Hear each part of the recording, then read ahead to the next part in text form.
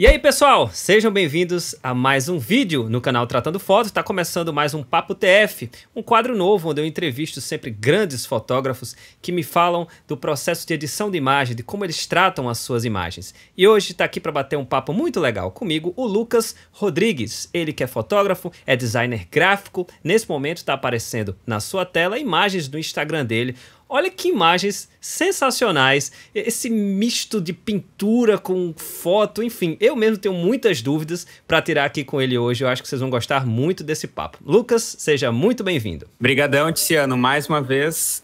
Te agradeço pelo convite. É uma satisfação estar conversando contigo, estar sempre conversando sobre esse mundo da fotografia, enfim, sobre edição de imagem, que eu acho que é o papo que a gente vai falar hoje, né? Que o teu canal apresenta bastante. Isso. Então, bora para as perguntas. Vamos Vamos, Vamos, nessa. Fazer acontecer. Vamos lá. Bom, eu vou começar fazendo a pergunta que eu faço para todo mundo.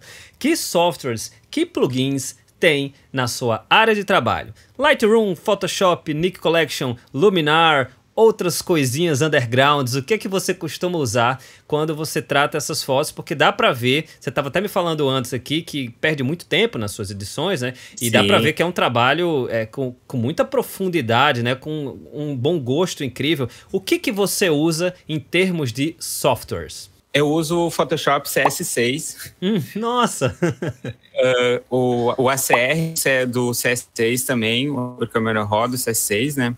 Eu utilizo um plugin, o Nick Collection. Perfeito. O dessa. Aquele que é gratuito, eu não me lembro a versão, mas não é a recente, tá? Uhum. Então, a maioria dos softwares que eu utilizo, eu me concentro nesses três, tá? O plugin do ACR, que fica dentro do Photoshop, o próprio Photoshop e o Nick Collection, que é um plugin. Para dizer que é um software, porque ele é muito completo, né? Isso. Uma outra, um outro software que eu utilizo de vez em quando, que eu acho que daí já fica meio underground mesmo é o GIMP. Eu trabalhava com ilustração de imagem antes eu trabalhar com fotografia. Então eu desenhava bastante, eu pintava, eu fazia bastante pintura digital. Uhum. Então eu usava muito o, o Sai, que é um outro software, só, software, só que eu nunca trouxe para foto, mas ele se assemelha bastante com o GIMP. Uhum. O GIMP é como se fosse o Paint do Linux. Ele tem bastante função assim que tem no Photoshop, só que ele é muito a inteligência artificial dele, o software em si, ele é muito vamos dizer, entre aspas, primitivo. Ele é bem menos avançado do que o, do que o próprio Photoshop. Aham. Ok. E em termos de workflow de porcentagem em relação a. Por exemplo, você recebe, você bateu a foto, tá com a RAW, e aí você começa no Lightroom antes ou já abre direto no Photoshop e você não costuma usar o Lightroom? Eu faço uma primeira sessão, sim, no, no, não no Lightroom, eu uso o Adobe Camera Raw. Uhum, eu okay. utilizo ele como, como escolha de fotos. Na verdade, eu faço uma, uma seleção no Bridge antes do, de entrar para o pro, pro ACR. E no próprio ACR eu faço primeiro um, umas cores, eu edito alguma coisa. Eu não faço tantas coisas no, no Lightroom, eu faço mais no Photoshop Uhum. Então eu trabalho mais a manipulação, mais a, a, mudança das texturas, todo no Photoshop.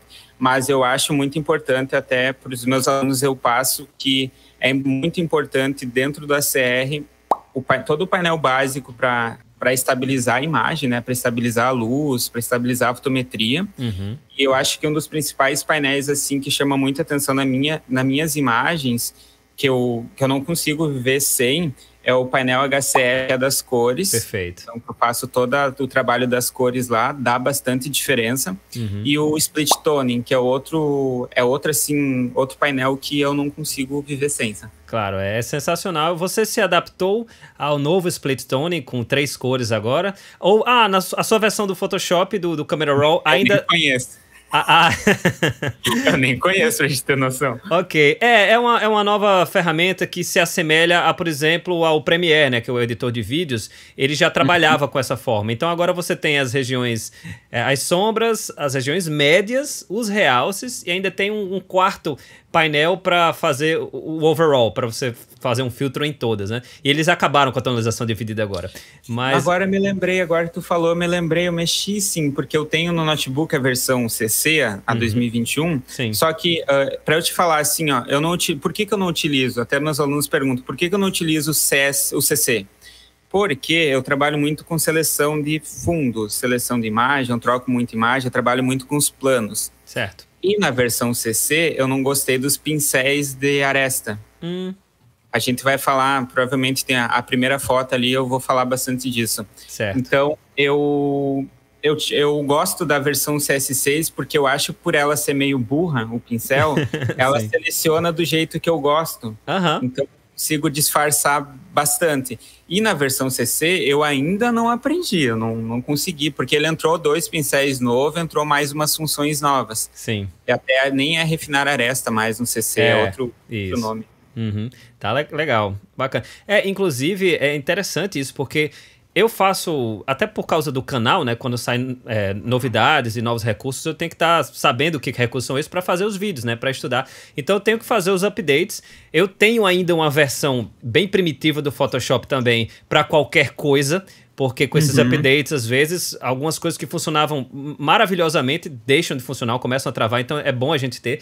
Mas eu, uma coisa que eu acho incrível é o que eles fazem de opacidade e fluxo do pincel, o que antes 5% saía pouca tinta, vamos dizer assim, é, uma hora para outra sai muita tinta, você tem que usar 4%, 3%. A, a, a porcentagem favorita de opacidade e fluxo vai mudando de acordo com a versão. É, é sim, sim, eles. Estranho eu isso. não sei, eu não sei se eles preparam para quem trabalha com a mesa. É. Para quem trabalha, porque eu edito sempre com mouse. Então, ah, sim? Então, olha só. Eu edito a eu, eu tinha mesinha na época da faculdade, isso faz uns cinco anos, tá? Uhum. Eu cheguei a editar com ela, eu tive que me adaptar um pouco, mas hoje eu não uso ela. E eu acho que essas atualizações, meio que eles tentam. Porque o Photoshop ele é muito amplo, né? Então é. eles tentam. E ele, essas mesinhas eles são sensíveis à, à pressão, né? Então, quem sabe, sim, de acordo sim. com os novos modelos, eles também fazem atualizações para suprir esses novos modelos. Mas eu pergunto, poxa, é, é, você não usa hoje em dia por, por algum. porque não se adaptou? Ou por, é, é o seu estilo usar o mouse mesmo? Porque, olha, foi amor à primeira vista aqui. Eu fiquei. Eu não sei mais. Não, não utilizar. Qual é a sua. Por que, que você não usa? Uh, na verdade, eu na época que eu usava, eu usava para pintura, né? Para os desenhos que eu fazia. Uhum. Na fotografia, eu não não me lembro se eu cheguei a utilizar, porque eu me lembro que eu trabalhei numa agência, eles utilizavam mesa lá. Eu até arrumei emprestada para tentar, porque eu já editava dessa forma, só que eu vi que eu tinha que, ainda naquele processo de adaptar, porque como a tela a gente utiliza o monitor, o monitor é a nossa área de trabalho. Aí tu Isso. pega a mesinha, ela é bem menor que a área. Então todo movimento que tu fizer, tu corre todo o monitor, né? Entendi. Eu uh... hoje eu utilizo, eu acho que é mais a questão do fluxo de trabalho que eu faço, que eu me acostumei com o mouse. Então eu trazer a mesa para o meu fluxo, eu vou ter que levar um tempo para eu poder me acostumar, para eu poder pegar o jeito da, do, do pincel ali. Para te ter noção, no curso que eu ministro tem um módulo que eu falo sobre o Dodge Burn, que eu utilizo muito o mouse. Sim. Então, eu utilizo um, vamos dizer assim, uma certa técnica e habilidade com o mouse. Eu teria que desenvolver isso de novo com a caneta, Perfeito. porque a caneta daí nós temos o, o trabalho da pressão da caneta, que é uma outra coisa. No mouse é o fluxo de cliques, Sim. na caneta é a força.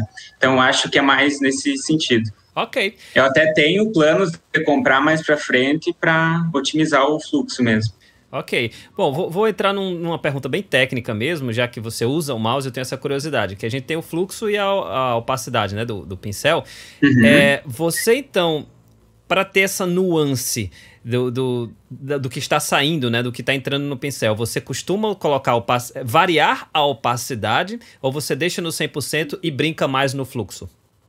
Eu, eu deixo o valor da opacidade em 35 uhum. e eu uso valores entre 30 e 40, porque eu gosto do pincel mais.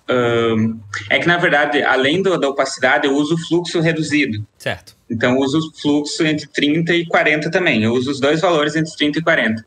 Ok. E aí, o que, que acontece? Na medida que eu clico, eu vou daí adicionando uhum. o efeito. Então, então você dá muitos cliques. É, é, clicando com velocidade. Isso para você conseguir o efeito Dá gradual. bastante tendinite também. É, eu imaginei. tá legal. Que, poxa, bacana. Vamos começar então com as cinco imagens, mas eu já tô gostando, porque tô tendo uma aula aqui, muito massa. É, vamos para a primeira imagem. E aí eu já começo perguntando. Deixa eu minimizar aqui as janelas que não precisam. Nossa, sensacional. Isso parece uma, parece uma pintura, eu sei que é uma foto, mas eu já começo perguntando. Você fala que você já fez muita é, pintura digital, né? O, o, o, quanto tem aqui de, de pintura digital por cima ou o quanto tem da, da foto em si mesmo? Como é esse blend que você faz para chegar nesse resultado? Uh, nessa foto aí, para te ter noção, ó, é, é, bem interessante essa foto porque é uma foto que eu fiz em estúdio, tá? Eu não estava num bar. Uh, eu fiz essa foto no estúdio e ela era para outro propósito. Era para uma outra pegada de foto, uma foto até que ia ser o fundo escuro, tudo mais escuro. Uhum. E aí, como eu estava por vezes eu tenho o costume de mexer no computador, umas fotos antigas e testar coisas. Certo. E nessa foto aconteceu isso. Eu testei, tinha um trabalho de um russo que eu sigo, eu até comprei um curso dele, eu não consegui ver ainda. Uhum. Eu compro o curso, na verdade eu coleciono o curso, porque eu não olho eles. Uhum. eu compro e não olho. Uh, ele trabalha bastante com um, uma referência bem forte num pintor que eu me inspiro muito, que é a imagem dele é praticamente igual essa aí, a do pintor, sabe? Uhum. E eu achei interessante o curso dele porque ele dá para notar que ele trabalha bastante com manipulação de fundos. Certo. Então, faz um sanduíche de várias informações, né? Uhum. E aí, nessa imagem, o que, que eu fiz? Eu peguei uma imagem que era de um outro propósito, como o menino estava com figurino de marinheiro, eu pensei, por que, que a gente não consegue, por que, que não dá para pôr em alto mar, trazer um barco, trazer uhum. gaivotas, trazer um céu? Então, eu comecei a, a testar, comecei a construir. Nessa imagem específica, respondendo a tua pergunta, Sim. eu costumo a, a manipulação que eu faço utilizando a referência da pintura é mais na, nas cores, tá? A uhum. questão das cores e a luz e a sombra. Eu mexo muito no Dodge Burn para trazer essa textura que o pessoal fala. Ah, como é que tu deixa esse aspecto que parece pintura? Como é que tu Isso. deixa uh, parecido com algo que não é real, mas parece que é real? Tipo, tá entre o meio termo de algo realista para algo uh, tipo um 3D, alguma coisa assim. Então, isso vai muito do Dodge and Burn que eu faço. Uhum. Nessa imagem aí tem bastante no menino Dodge and Burn, tá? No cenário eu não utilizo quase nada, o cenário é mais inserção de elementos, uhum. uh, trabalhar o blending ali para equalizar a luz. E para ter noção, essa imagem ela tem ela tem acho que umas sete imagens aí. E é interessante você falar dos russos, porque está sendo. Você é a quarta entrevista que eu faço, e é sempre alguém cita um russo na, na, na, entrevista. Muita gente, inclusive. Inclusive, eu teve, já fiz um, um, desafio dos inscritos, que é um quadro que você também participou, né? Você me enviou uma foto sem tratamento uhum. e eu tentei me aproximar. Do Sergei Ivanov. É um, um, russo que foi sugerido. O cara é um, um mago, um pintor do, do Photoshop também. Deu muito trabalho para fazer um trabalho aproximado. E os russos sempre estão mandando muito bem. Então, eu queria que você começasse é, recomendando, pelo menos esse fotógrafo, você gosta, um ou dois fotógrafos que russos, para o pessoal sair também caçando esses estilos russos. Eu acho que a principal referência minha de eu entrar nesse estilo, acho que até para quem for visitar o meu perfil, uh, Karina, Karina que é o nome dela. Uhum. Eu vou deixar um, um, nome aqui no chat, tá, pra ti? Ah, Karina Kiel, assim, é a minha... Uh, é uma das minhas maiores inspirações, assim, para tratamento de imagem. Eu trabalho muito com nicho infantil, uhum. então ela trabalha só com infantil. Então, para mim, foi, assim, um, uma mina de ouro, sabe? Uhum. Uh, porque eu consegui trazer... É muita inspiração, assim, é tanta inspiração em produção, em tratamento de imagem, em ideia ideia de acting das crianças, ideia de ensaio. Uhum. Ela praticamente ela trabalha só com isso, ela trabalha só educando pessoas lá na, na Rússia, né? Uhum. E outra, uh, outra fotógrafa que eu gosto muito das edições é a Gisana. Certo. Ela é russa também, uhum. ou é polaca, não sei. Entendi. Legal. Uh, ela, ela é diferente do trabalho da Karina. O trabalho dela é mais de fantasia, assim. Ela trabalha com mais elementos. Uhum. A Karina, ela trabalha... Um ou outro elemento da, da Karina, ela traz assim, mágica, sabe? Só que não como a Gisana traz, que é, tipo, assim, é fantasia mesmo. Sim. Que daí entra outros elementos, entra overlays, entra claro. uh, aquelas, material de, de aquelas folhas, aquelas folhas azuis, né? Aquela mata inexistente no Brasil, aquela... Sim, sim. Enfim, esses... esses é, uma, uma menina é, loirinha abraçada com um urso, essas coisas assim impossíveis que geralmente tem nessas fotos. O, o mais bacana, tipo, eu acho que talvez seja interessante para o pessoal até que gosta de manipulação, de edição, é que quando eu entrei no, no nicho infantil, é bacana porque tu trabalha com criança, tu trabalha com sonho, tu trabalha com fantasia, com lúdico, uhum. e muita coisa não existe. E o interessante é que quando a gente tem o Photoshop, essa ferramenta muito, muito fantástica, né? Sim. A gente consegue trazer essa possibilidade. Uhum. Só que o mais difícil é tu harmonizar o realista, deixar não com aquele aspecto fake, né? Uhum. Então, desde os últimos anos, assim, eu tenho pesquisado, tenho seguido, testado nessa linha, sabe? Seguindo esses fotógrafos, Sim. mais fotógrafos. Massa. Vamos para a segunda imagem. A gente tem aqui. É, essa foi em estúdio também ou você estava em ambiente é, de natureza? Externa, essa é externa. Você utilizou um flash na frente de preenchimento ou luz natural? Não, não, era um rebatedor que tinha. Sim, mas você. Tava, acho que, debaixo de mim. Aham. Uhum. Legal. Essa, uh, a gente pode notar que tem um tratamento menos carregado, né, do que em relação a essa. A gente, é, possivelmente uhum. você deixou ela um pouco mais natural, não é isso? Sim, naquela primeira imagem foi a primeira imagem que eu fiz testando, testando assim algo mais artístico, algo mais pintura, algo mais assim surrealista, sabe? Sei. Uh, no outro caso, claro, não trazendo muito assim fora do, mas tipo tentando trazer algo que, que a imagem não estava, uh, não tava, não era o, o que uhum. nós conseguíamos ver. Sim. Aí, nesse caso da menina, foi algo mais. Uh, eu gostei muito da expressão dela, então não achei tanta necessidade de eu trazer demais elementos. O enquadramento era um close, uhum. então a gente se concentra mais na expressão da criança. Perfeito. Você falou que usa bastante o HSL, né, lá no Camera Raw. Você costuma também é, usar a calibração da câmera ou se, se vira mais no, no HSL?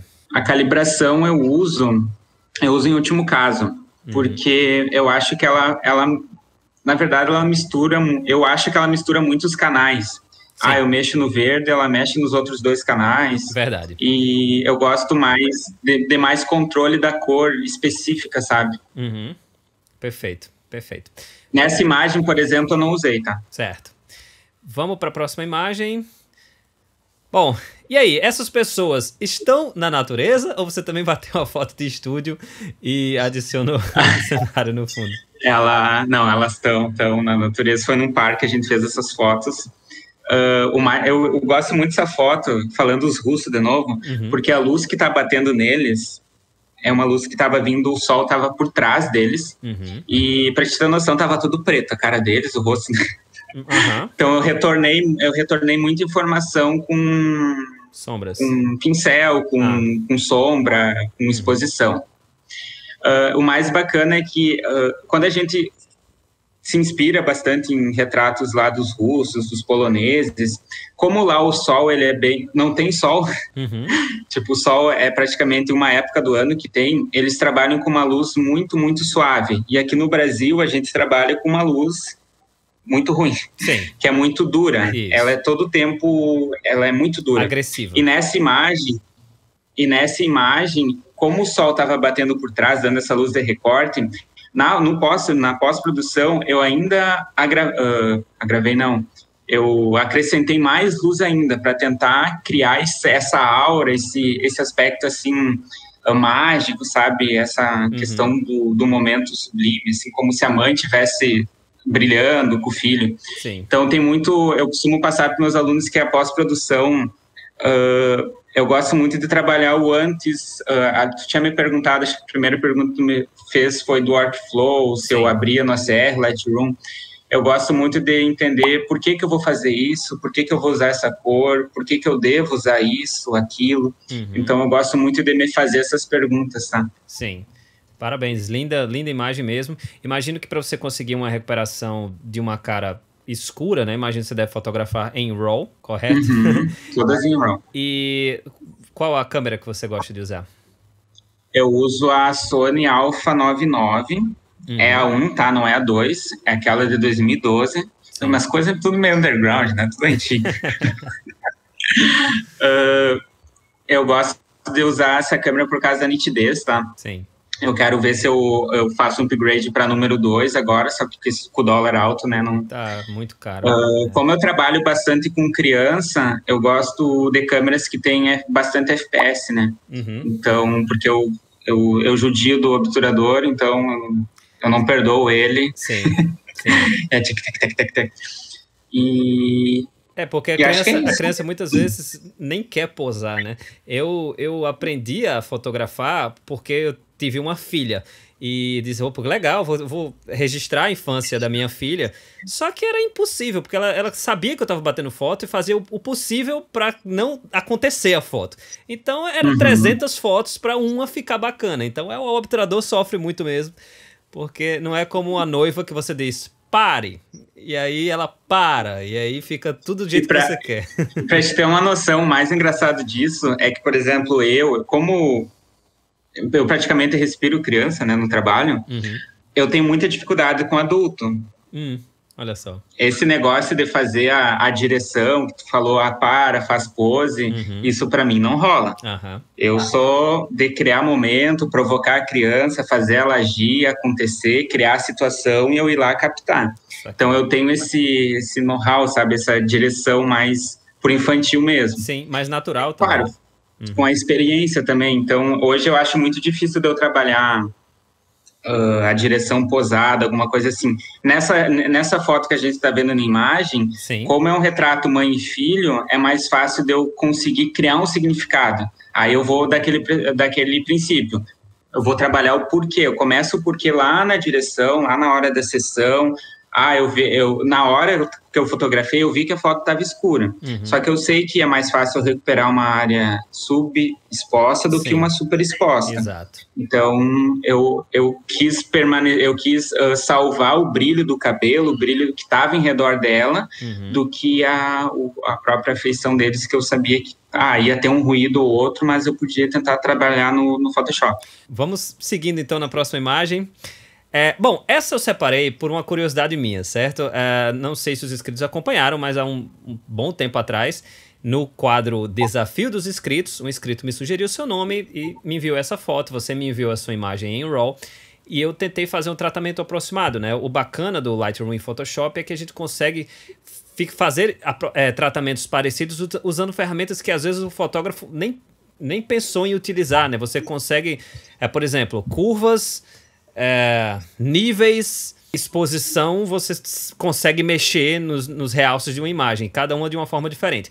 E eu fiquei até, eu até meio satisfeito conversando com você, porque eu não sei se você lembra ou se você viu o episódio, mas eu utilizei Dodge and Burn pesado nessa imagem, para tentar fazer parecido. É, utilizei Lightroom, realmente, que eu não, não uso Camera Raw, mas são praticamente idênticos, né? E utilizei o Nick Collection também para jogar essa, essa, som, essa, esse ruídozinho, né? Nessa específico, você colocou um, um, ruído bem forte, não sei se veio no ambiente, mas eu até chuto que você adicionou depois. As outras imagens que eu, que eu mostrei são mais limpinhas. Bom, e aí eu queria saber é, é, o, como se eu bati na trave, se eu cheguei perto, mas basicamente foi atrás de Dodge and Burn mesmo, em bochecha, colorização de olho, né? Que eu clareei os olhos e tonalização, uhum. um filtrozinho mais amarronzado nessa imagem. É, me diz aí mais ou menos o que você fez, se eu passei muito longe ou se o caminho era mais ou menos esse aí. Uh, quando tu abriu, ó, eu vi o vídeo, eu, eu até achei interessante porque foi a primeira pessoa que, que me convidou para um, essa experiência, né, para trabalhar uma imagem minha. E eu achei legal, eu até eu me lembro que eu estava num shooting de moda quando tu me mandou mensagem e eu falei com a minha sócia, eu falei, ó, oh, dá uma olhada nisso, será que é uma boa? Será que não vai ficar ruim para imagem? Aquela coisa uhum. toda, sabe? Sim. E eu achei bacana porque é legal porque é uma outra visão, tu tem um outro know-how, tu tem uma outra um, um outro entendimento do que as ferramentas podem fazer. Para ter noção, eu não trabalho Dodge and Burn, acho que eu nunca trabalhei Dodge and Burn com curvas, tá? Uhum. Eu até achei interessante. Uh, o Dodge and Burn, o raiz que eu aprendi mesmo, foi com, com a camada cinza de trabalho blend, de trabalho os pincéis de exposição. Ah, Só que nessa imagem eu não utilizei isso. Eu utilizei mesclagem. Uhum porque o teu, a, a tua lógica ela, ela, é correta. Tá, a gente quer trabalhar luz, a gente vai atrás do que tem luz. Uhum. Realces, posição, brancos. Então, isso tudo mexe na luz. Certo. Sombras, preto, sombras, exposição. Isso mexe nas sombras. E dentro do Photoshop, a gente tem a, a, os grupos de mesclagens da camada que a gente pode trabalhar a imagem raiz, duplicando ela e trabalhando os blending para adicionar ou remover luz. Perfeito. E eu trabalho do Art Burning dessa forma, porque ela, ela se assemelha muito à forma como eu pintava. Ah, que legal. Eu trazia, porque, assim, na pintura, a gente uma, o interessante é assim, eu gosto de falar isso para meus alunos, porque quando eles entram para a parte da arte, eu tento, tipo, desossar eles, né? Falar, uhum. Botar arte, arte, arte na cabeça deles. Uh, quando a gente trabalha a arte, o mais legal é que a gente trabalha tudo separado. É linha, é volume, é luz, é sombra, for, uhum. que vai gerar forma, e no final é as cores. Sim. E as cores, a gente trabalha, tem as cores primárias, tem as cores secundárias, aí nós temos o preto e o branco, que a gente adiciona mais luz na cor ou, ou, ou mais sombra na cor, né? Mais luz Correto. ou menos luz. Perfeito. Então, a mesclagem, ela acontece com, com luz. Uhum. E nessa forma aí, como eu queria trabalhar somente com luz, eu peguei a imagem original e trabalhei somente com a luz. Dá para fazer isso com as curvas? Eu consigo, só que as curvas ela trabalha os canais de cores. É. Eu queria luz específica. Uhum. Então eu trabalhei com a imagem original mesmo, uh, com um blending. Aí eu me lembro que quando tu abriu o, o Tá, tu tinha feito Dodge and Burn, beleza, eu, eu vi que era a forma que tu que tu aprendeu, que tu viu. Eu, pra, eu acho que tu sabe mais edição do que eu, tá? Eu tenho, é que assim, ó, eu bem. tenho, tu dá risada porque assim, ah, eu, eu tenho uma imagem impactante, algo assim. Só que tu tá o tempo todo pesquisando. Uhum. E uh, tu, tu deve conhecer muito mais processos de edição do que eu. Ah, eu tenho um workflow que para mim funciona, uhum. uh, o pessoal gosta bastante, então eu, eu, eu, sigo na linha que quando o pessoal dá o feedback positivo, eu penso assim, ó, esse é o caminho. Sim. E aí, como é um, um, workflow que dá certo, eu não busco mais informações. E quando eu assisti teu vídeo, eu achei muito bacana porque até acho que para a maioria dos seguidores que veem teu canal, seguem o teu, uhum. os conteúdos que tu posta, o interessante é essa, esse compartilhamento da, das informações, né? Do leque de Porque possibilidades, foi, né? Isso, tu foi por um caminho que eu eu acho que nem quando eu estava aprendendo eu pensei em fazer, sabe? Uhum. E deu o resultado da tua foto. Aí eu me lembro que eu, eu achei engraçado, quando abriu o Nick Collection, eu pensei, ih, vai acertar as cores, né? Ah. Aí, só que daí tu não abriu o... Porque eu, eu trabalho com o EVX, o EVX Pro. Color FX Pro 4. 4. Uhum. Esse eu trabalho com esse. E tu entrou num outro lá um e mexeu nas outras configurações lá. Eu, ah, agora ele foi por outro caminho. Sim. Mas, tipo, o interessante é assim: uh, tu foi no Nick Collection porque tu notou, tu teve essa experiência, tu, tu, tu, sabe as possibilidades que o Nick Collection traz, né? Isso. Então, o mais bacana é que uh, ou quando a gente trabalha muito edição, estuda muito, a gente consegue perceber o que, que ah, pode ser que ele usou isso, isso, aquilo. Aham, uhum, entendi. Legal. Poxa, Show de bola. Tô, tô aprendendo muito. Inclusive, é uma dúvida mais técnica. Fica à vontade se quiser responder ou não, mas você falou, ah, eu, eu, eu utilizo a mesma camada. Seria o caso, então, de você fazer uma cópia da camada é, original e ir atrás dos blend modes, dos modos de mesclagem do grupo de contraste, como overlay ou, ou sobrepor, ou você faz várias camadas e você busca essa camada, eu vou trabalhar as partes mais claras e vai para os modos de mesclagem do grupo clarear e, e mais ou menos esse caminho que você falou?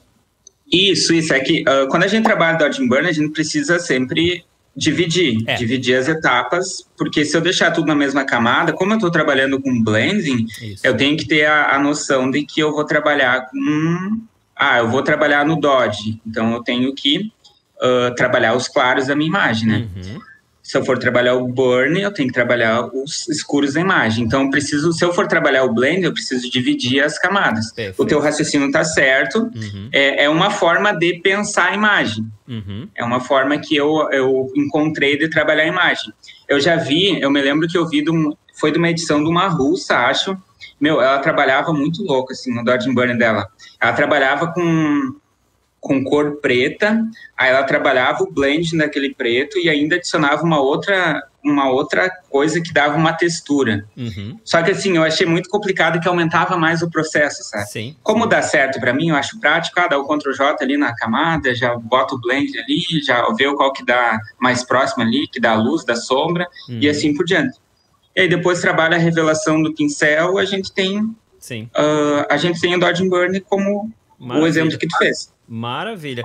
Beleza. Eu vou retribuir o elogio agora, porque realmente, de fato, quando a gente.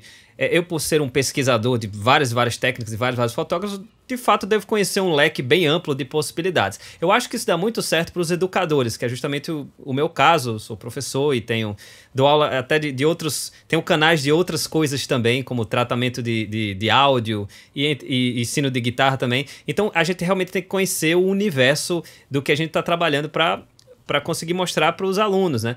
Mas eu acho que o mais difícil é você achar uma, uma coisa bacana, um estilo legal, que é o que você fez, né? E dizer, poxa, isso aqui é único, isso aqui é meu e eu vou trabalhar, focar nisso aí. Então, parabéns por ter conseguido desenvolver um estilo, por ter conseguido se encontrar, né? Que eu acho que é mais difícil até do que conhecer todo o espaço amostral de edição de imagem e por ter conseguido fazer esse, esse trabalho tão é. único. Para ter noção, eu recebo muito comentário do pessoal preocupado, assim, ah, eu não tenho uma imagem bacana, não tenho uma edição legal, eu queria um estilo como tu tem. Uhum. Oh, demorou bastante, assim, para eu para eu entender assim o que, que é estilo, o que, que é identidade que eu tenho, o que que o que, que é isso que o pessoal busca, sabe? Uhum.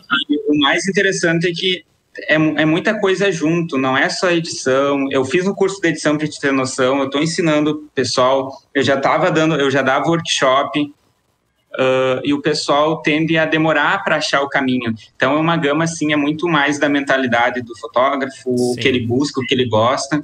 Então, aí tu vai construindo o teu estilo. Bacana. E olha, é uma coisa que você falou aí que é muito interessante, que muita gente pensa, não, ele, o cara que tem um estilo, ele não vai se informar com ninguém, vem da cabeça dele pronto. Mas você já está falando aí que fez vários cursos, você tem fotógrafos russos como influência e outros fotógrafos. Ou seja, o, o, a, quando você adquire o estilo próprio, não vem de dentro, vem de fora, vem de um monte de coisa que você absorve e diz: olha, eu vou me, me, influenciar por esses 300 coisas que eu estou absorvendo aqui e aí vou gerar algo próprio, algo meu. Mas precisou de uma coisa eu... externa, não é?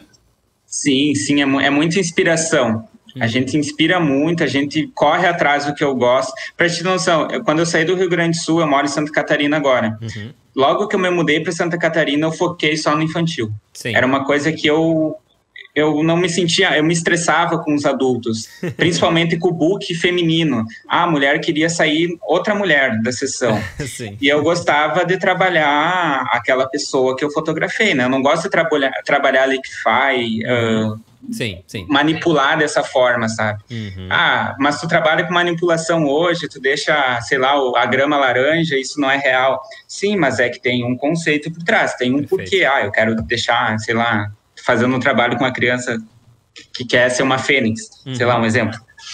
Claro. Aí, então, tem toda uma magia, uma fantasia que tem por trás. Uh, uh, tem um e-book que eu escrevi eu vou, eu vou te deixar o link. Certo. Fala exatamente sobre essa parte de fotografia artística, de inspirações uhum. e como eu encontrei isso para desenvolver o meu estilo. Certo. É bem legal, assim, que eu acho que pode ajudar as pessoas e Legal, bem... obrigado. E eu vou compartilhar, vou botar o link aí na, na descrição. Massa, Lucas, vamos para a nossa última imagem. E uma, eu imagino que você tem um estúdio fotográfico também, né? A, a primeira imagem foi em estúdio. Você trabalha também de forma com, com estúdio interno, correto? Eu tinha. Tinha no Rio Grande do Sul. Uhum, certo. Aí agora, quando eu preciso de estúdio, eu loco. Ok. Muito prático também. Mas essa, essa foto foi feita em estúdio. Tinha um estúdio na sala da minha casa, derrubei as paredes desse estúdio. uh, esse, pra ter noção, esse menino é meu, meu afilhado. Uhum. E ela é uma imagem bem diferente do que tem no meu portfólio. Até a logo é antiga. Sim, é. Então, é, a imagem mais antiga. É diferente, mas a gente percebe a, a eu, eu, vou, eu vou caracterizar como nitidez, não no sentido de, de aparecer todos os detalhes, mas é, é um estilo de nitidez, né? Com profundidade que, di, diferente. Parece que ele tá eu não vou dizer é, maquiado, mas como você falou, essa mistura de vida real com um pouco de fantasia, né? Então. Esse é o GIMP. É, é o GIMP. Esse é o underground, tá? Ah, olha só. Então, eu confesso que eu, não, eu já ouvi falar, mas nunca entrei no, no mundo do GIMP. Eu vou até dar uma, dar uma forçada para ir atrás também de, de, conhecer esses efeitos, porque eu precisei, como, como eu falei, dodge and burn nas curvas, que é o que eu, que eu meio que aprendi quando eu estava começando, para conseguir esse efeito. Mas olha, é, primeiro, mais uma vez eu quero lhe parabenizar. Além de fotógrafo, você é um artista, um artistaço, com imagens muito bonitas. E obrigado por ter participado aqui do Papo TF. Eu queria só que você encerrasse dando um recado para quem está começando na edição de fotos. Que conselho você dá? Se é fazer muitos cursos, se é conhecer muita coisa, se é focar num estilo. A pessoa que acabou de instalar o Photoshop, o que é que você diz para ela? Pessoal, vocês têm que tem que ter, primeiro, paciência, muita paciência e, e se inspirar muito. Correr atrás de inspirações, uh, te, uh, testar, testar, falhar muito, tá? Errar, errar, errar, uhum. errar. Acho que o erro, o Tiziano, ele não quis pegar minhas imagens mais antigas, mas tem no meu portfólio. Se vocês quiserem dar uma olhada, vão lá nas últimas imagens, no Facebook tem mais, tá? Uhum. Lá vocês vão ver imagens assim horríveis, tá? Só que eu acho legal, eu não limpei porque para vocês terem noção, para meus alunos eu mostro. Sim. E vocês têm que ter uma noção assim, vocês estão num lugar hoje e vocês têm que projetar onde vocês querem estar num, projetar uma meta. Uhum. É, essa meta, essa uh, perseverança, essa, esse foco que vocês vão ter que vai fazer vocês evoluir a edição de vocês, evoluir a fotografia de vocês e principalmente, que acho que a maioria busca hoje, ter o estilo. Sim. Então, é fácil? Não, não é fácil. Mas não é impossível, tá? Beleza. E tem pessoas que vão ter mais facilidades, outras não vão ter mais facilidade. E isso faz parte, então vocês têm que confiar mais em vocês e errar muito, tá? Beleza. Bom, e aí vocês inscritos do canal Tratando Foto, se vocês querem que eu bata um papo com outro fotógrafo, sugira aí nos comentários. E se vocês quiserem ver esse episódio onde eu tratei uma foto do zero do Lucas Rodrigues, é só aguardar até o final do vídeo que vai ser a primeira recomendação do YouTube. Se você gostou, curte, compartilha, que toda semana tem vídeo novo aqui no canal Tratando Foto. Meu Instagram tá aí na tela. Muito obrigado por sua atenção e boas fotos.